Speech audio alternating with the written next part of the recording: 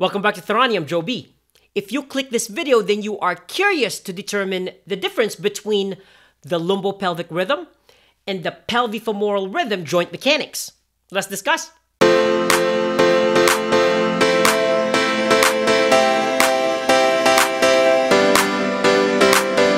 The lumbopelvic rhythm is a coordinated activity of lumbar flexion and anterior tilting of the pelvis in the sagittal plane during trunk flexion, while the opposite sequence of mechanics occurs with trunk extension.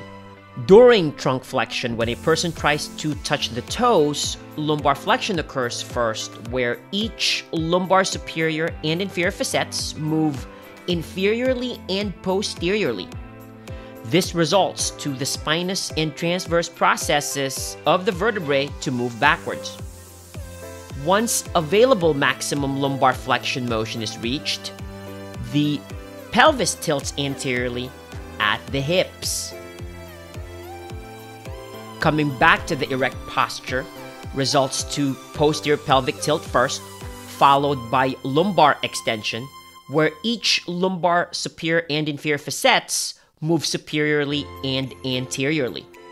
This results to the spinous and transverse processes moving forwards. The pelvifemoral rhythm is a coordinated activity of pelvic anterior tilting and hip flexion during standing toe touch, while the opposite sequence of mechanics occurs with a return to standing position. The main difference of this rhythm is that it highlights the sequence of movement at the pelvis and hip instead of the lumbar spine and the pelvis. During trunk flexion, when a person tries to touch the toes, the pelvis tilts anteriorly while the hip flexes, resulting to a femoral head posterior glide. During trunk extension, when a person comes back to standing, the hip extends, resulting to a femoral head anterior glide. Once maximum available range is reached, then the pelvis tilts posteriorly.